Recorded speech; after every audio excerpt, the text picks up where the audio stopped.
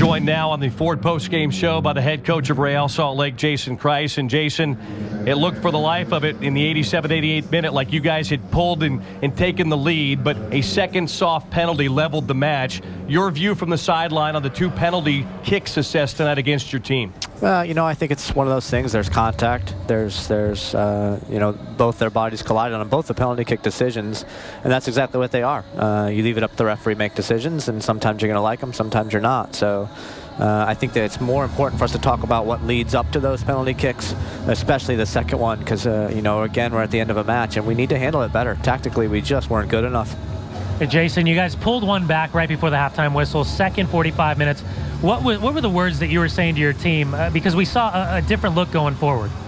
I just thought we needed to be a little bit sharper on the ball, a little bit more aggressive with our decisions, especially in the midfield. They were throwing this kind of half pressure at us where they're running players at our backs.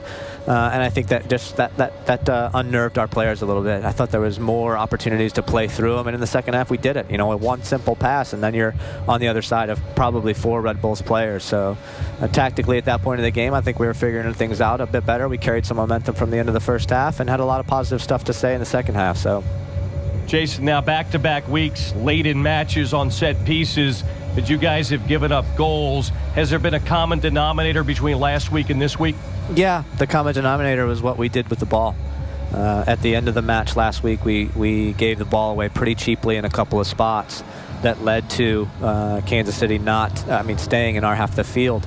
Uh, and as I told them, when you, if you're going to allow the opponents to stay in your half of the field or close to your goal, then the referees are oftentimes going to be willing to add on more time. So uh, for me, at the end of the game, it was all came down to what we did with the ball. We lost it cheaply on several occasions and got punished for it.